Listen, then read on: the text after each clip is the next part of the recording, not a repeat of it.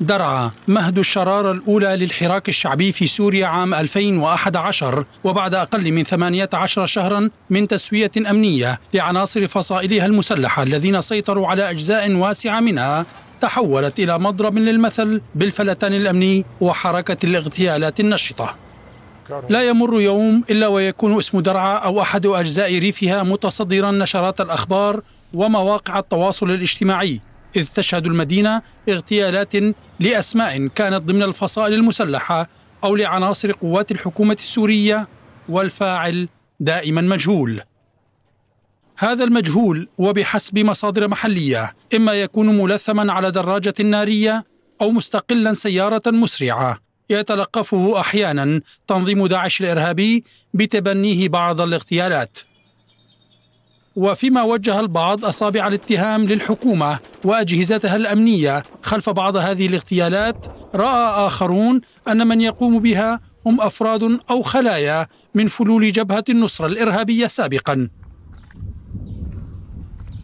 ولا تشذ درعا عن باقي المناطق والمدن السورية إذ تعد ساحة تنافس بين روسيا والنظام الإيراني الذي يتوغل في النسيج الاجتماعي السوري بنفس طويل بحسب ناشطين محليين مؤكدين في الوقت ذاته أن استمرار عمليات الاغتيال والتدهور الأمني يخدم بكل تفاصيله المشروع الإيراني في المدينة وريفها. وأشاروا إلى أن صراع موسكو وطهران ومحاولة كل منهما بسط نفوذها في المدن السورية يعكس هشاشه التحالف المبني بينهما ويبين أن هذا التحالف وقتي وليس استراتيجي وما هو إلا غطاء تتستران به لإخفاء أهدافهما الحقيقية. وسجلت المدينة وريفها منذ حزيران يونيو الفائت ولغاية إعداد هذا التقرير 831 محاولة اغتيال أسفرت عن مقتل 542 شخصا بينهم قرابة 150 مدنيا بحسب المرصد السوري لحقوق الإنسان وبعد كل هذه الأرقام يقول قائل بأن المعارك الكبرى انتهت في سوريا بعد سنوات عجاف.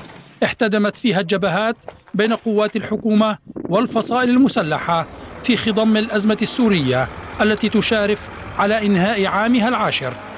لكن هدوء المواجهات العسكرية لا يبدو أنه إشارة أو دليل على توقف المعارك الجانبية بين الأطراف المتصارعة على الكعكة السورية.